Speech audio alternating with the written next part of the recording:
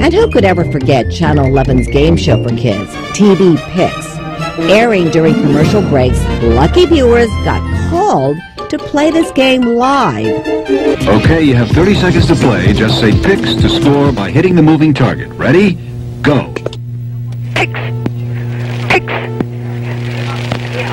Picks. Channel 11 would broadcast an Intellivision video game over the air that the viewer would play by saying the word picks into the phone, activating the firepower.